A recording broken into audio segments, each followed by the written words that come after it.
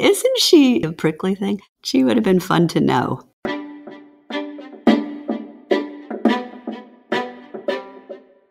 I'm Melanie Boyer. And I am Justin Bates. And welcome to another edition of In the Course of Human Events, a Monticello podcast.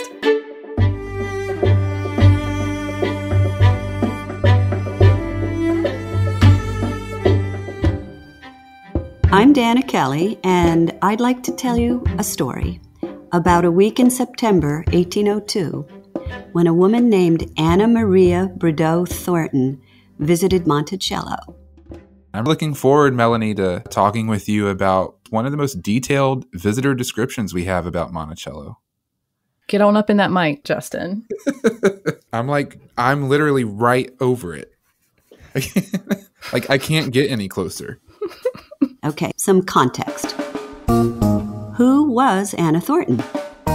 A well read 27 year old woman, accomplished musician, at the young age of 15, she had married 31 year old William Thornton.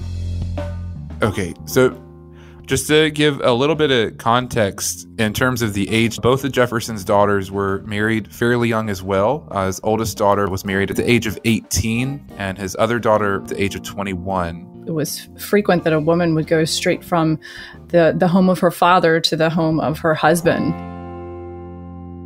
The Thorntons lived in a townhouse on F Street in Washington, right next door to their good friends James and Dolley Madison. James Madison was Secretary of State in the Jefferson administration, and William Thornton was the superintendent of the newly created Patent Office. He was a medical doctor, but he didn't really practice medicine. He was also a painter, an inventor, an architect a farmer. He bred racehorses. Apparently, he was this really interesting guy that people like to get to know. They said his company was the complete antidote to dullness. Anna Thornton's friends included people like Martha Washington and even Abigail Adams. And these women, who were married to the city's powerful men, they helped to set the tone and define the style of governmental rituals and ceremonies, and even the social norms in private life. They were the arbiters of taste and style in this brave new world where leaders were elected by the people and we're not paying homage to a monarch. So the rituals and ceremonies were going to be different than in a monarchy. Jefferson believed that dining was a way to break uh, an aristocratic tradition. And so he was famous in Washington for hosting these elaborate dinners. And Jefferson believed that it was over good food, good wine, and casual conversation that political compromise could be made. It was more like a buffet style. Yeah. At meals, instead of having each of the meals plated up, the use of dumbwaiters as well, so that people could clear their own plates. So the buffet style was more kind of a democratic way to eat, not as stuffy. It was, a, yeah, very casual.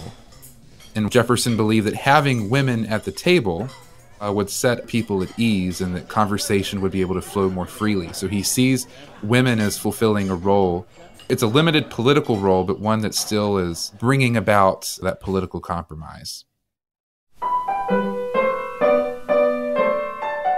I think the most fabulous thing about Anna Maria Thornton is that she kept a diary for nearly 70 years, from 1793 to 1861. And when you think about it, that spans the formation of the young nation all the way up to the start of the Civil War.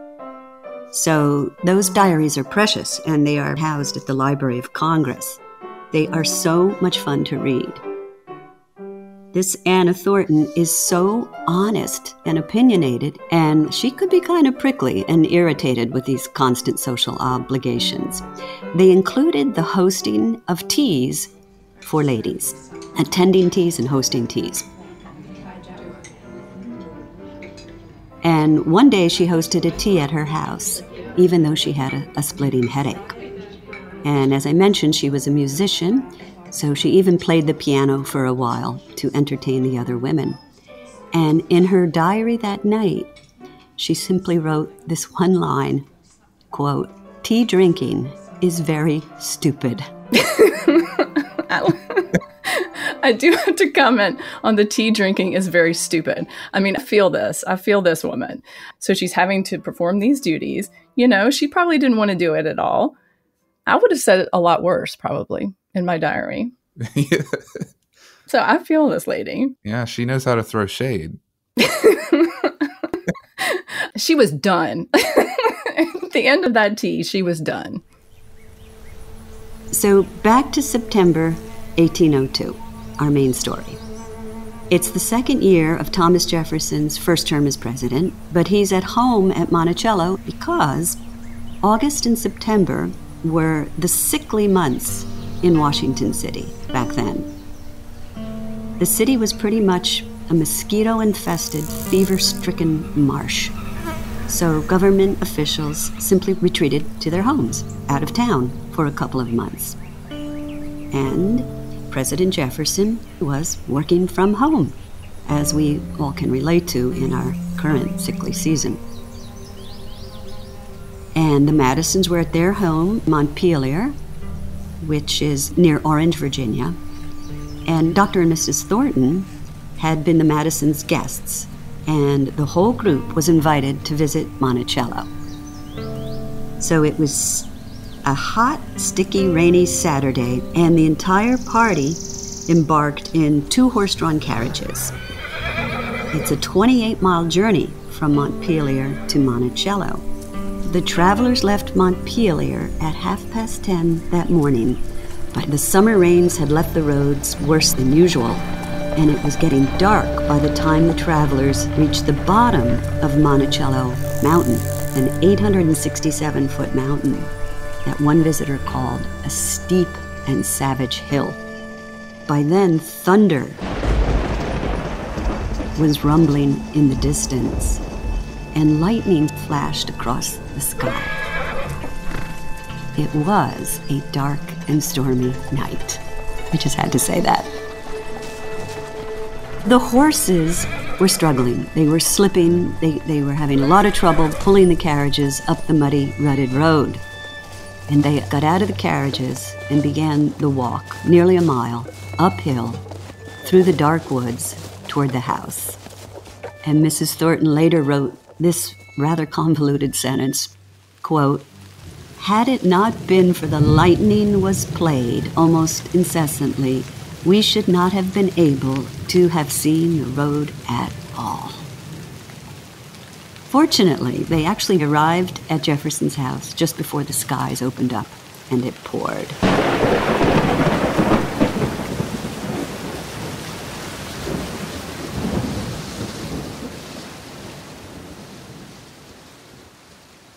As she's describing this day and they're going up the steep and savage hill and the lightning, it's like a horror movie. I mean, I'm thinking like, you know, like Haunting of Hill House or something here. It just seems so dramatic. Like I might have turned around. Yeah. And then, like, you imagine they have enslaved people with them who are responsible for hauling the luggage that they left behind in the carriage up the mountain. Absolutely. That's a good point. So they may have been able to continue on foot, but the other people in charge of the horses and all the other stuff, they're having to go up the same road. They just have a heavier load. Exactly. That's something we may not think about. And if Anna Thornton was expecting to arrive at a house of luxury and comfort, she was sorely disappointed. Monticello was in the midst of a decades long remodeling project, and frankly, it was a mess. The entrance hall, where visitors still arrive today, today it's a lovely finished room, but back then it was an empty, cavernous, dark room, unplastered brick walls, exposed beams in the very high ceilings, boarded up windows, and no floor.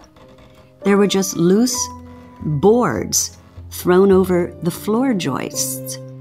It, it's so incongruous to what you think of when you think of Monticello. You know, it looks much different nowadays than it did then. But I think it must have just looked even worse than we imagined. Columns on the west portico were tree trunks up until a few years before Jefferson died.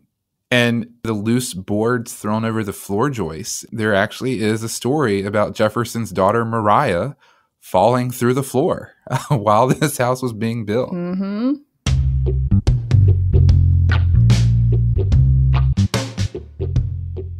The visitors were too late for dinner because typically dinner at Monticello started at half past three.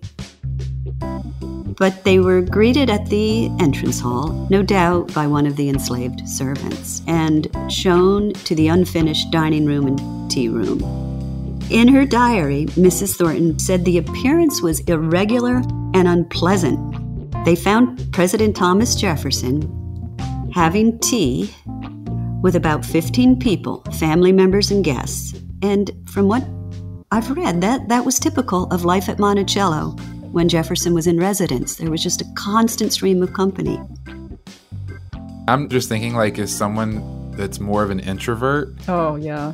walking into a room with 15 strangers No. after I've been traveling all day, that's the last thing I want to do is make small talk with people. In my wet and dirty dress? No. And and and you're too late for dinner. they didn't stop for fast food along the way. It's almost like jet lag.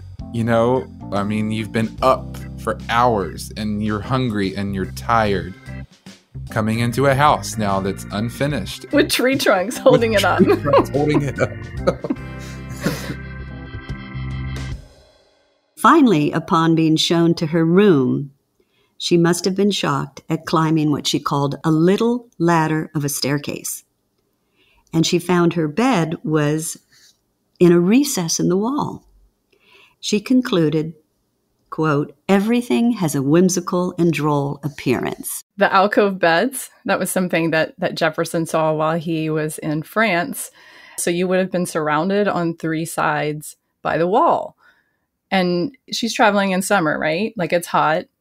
And then I imagine too, the room they probably stayed in would have been right next to where the gong is for the clock, which goes off every hour. i didn't even think about that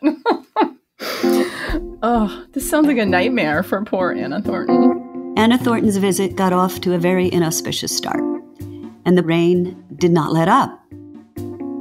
However, things did improve because there were many interesting people in the house. In her journal, Mrs. Thornton lists those present at breakfast the next morning Thomas Jefferson, his two daughters and their husbands, Mr. William Short, Jefferson's private secretary when he was minister to France.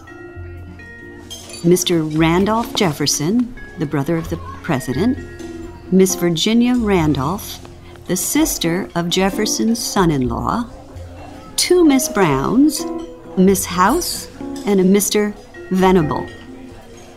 And there were also four or five grandchildren, and of course, the Thorntons' own traveling companions. That's another six people. So I did the math, and that's two dozen people. And I reckon all those people must have spent the night in order to have been there at breakfast, which was, I believe, served at either 8 o'clock or 9 o'clock in the morning. Melanie, I know what they had for breakfast. Do you know? Yes, I do know. Sorry, I just had to be sassy. They had the muffins. We've made the muffins before. Yeah. Didn't they have ham? Ham, Had right? Ham, yep. Eggs. Eggs. I'm just throwing things out there, Justin. And one other thing was a hot wheat, hot cereal. Yeah. I like cream of wheat. Yeah. Oh, but it also says that there were four or five grandchildren there. They were being cared for by uh, Priscilla Hemmings, who was an enslaved nursemaid. But it sounds like in the dining room, when the family was all together, that it might have been a scene of chaos every now and then. I mean, there's there's a story of one of Jefferson's grandsons accidentally killing one of his pet mockingbirds in the dining room. I mean, so you know, you have that activity going on. Hopefully not the same night that, that Anna Thornton was there. I don't think it was the same night. No. On the second day, Jefferson showed Dr. and Mrs. Thornton his plan for the remodeled house. And Mrs. Thornton commented in her diary that she thought the inside would eventually be handsome and convenient. But here's what she said about the exterior He has altered his plan so frequently, pulled down and rebuilt, that in many parts it looks like a house going to decay from the length of time that it has been erected. And actually, that observation has been corroborated by other visitors' accounts too. Well, one thing uh, I'm wondering, Justin, this was in what, 1802? Yeah. Like his second year of his presidency? Yeah. So it was mostly completed by 1809. Right. Yeah, so I mean, what Melanie's kind of referring to, it's a part of the remodel of Monticello. Initially in 1769, Jefferson had a design that would be a house of two stories and eight rooms. But after the death of his wife, he's selected to be the American minister to France. So he lived in Paris for five years. And when he came back to the United States, he was so full of new ideas, he decided he wanted to have everything completely remodeled. And so it's at that time when Thornton is visiting that she's observing the construction of what we call Monticello 2, the second version uh, of the house.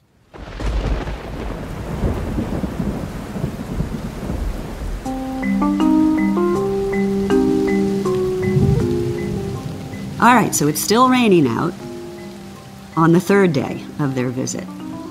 And now Jefferson invited the Thorntons into his library, where Mrs. Thornton had access to thousands of books. And now she's happy.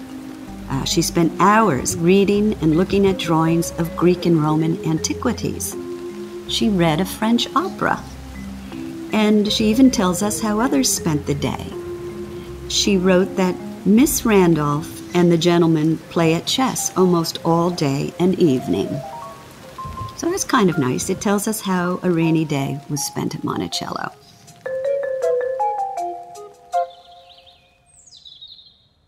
As the weather improved the next day, Anna Thornton was able to take walks around the grounds, and she described the views from the mountain in very positive terms. It's, it's a magnificent view. Although she described the house in this way There is something grand and awful in the situation, but far from convenient or, in my opinion, agreeable. It is a place you would rather look at now and then than live at. Mr. J has been 27 years engaged in improving the place, and he has pulled down and built up again so often that nothing is completed, nor do I think ever will be. As I was listening to this, it kind of made me think what a privileged life these people have. They're reading a French opera. You know, this would have been in stark contrast to the enslaved people who were serving this family and all of these guests lounging around in the parlor. Everything Jefferson's family is doing is enabled by that system of forced labor. All of the wealth to acquire those objects came from slavery. And I think, you know, when she says it's far from convenient, I mean, she's right about that. Yeah. Um, yeah, having a house on a mountain in this time in Virginia was totally uh, counter to conventional wisdom. Rivers were the highways. The task of supporting life on this mountaintop and going back to the number of people that are living here, free and enslaved, and just getting food and water. It's beautiful, definitely. I mean, the view is beautiful, but it's not convenient. Many years before Anna Thornton, the Marquis de Chastellux, visits in 1784, um, or at least he writes this in 1784. He describes Jefferson. He says that he has placed his mind, as he has done his house, on an elevated situation from which he might contemplate the universe. Hmm. All this, as Justin said, was made possible by the, the labor of enslaved people. Mr. Jefferson eventually showed the Thorntons his pride and joy. I think of it as his sports car, if you will, a handsome two seater, state of the art carriage called a Phaeton. Jefferson had constructed it after eight years' preparation, And in her opinion, the mind of the President of the United States ought to have more important occupation. He is a very long time maturing his projects. Yeah. Talk about a little um, bit of shade there, right, Justin? That She is shade. I mean, there definitely are those firsthand accounts, yeah, talking about how reckless Jefferson was uh, in the driving uh, of his Phaeton. It would have been so bumpy and awful. But also, is she thinking he's not doing a very good job as president? I think you can compare this to other presidents who have been criticized for taking lots of vacations or playing lots of golf. You know, you you still hear this today. And I have just one little addendum to this story. It's four years later, and Mrs. Thornton and her husband returned to Monticello for a visit in 1806. And she noted that things were much improved, even the road. And she wrote that evening in her diary It is now quite a handsome place.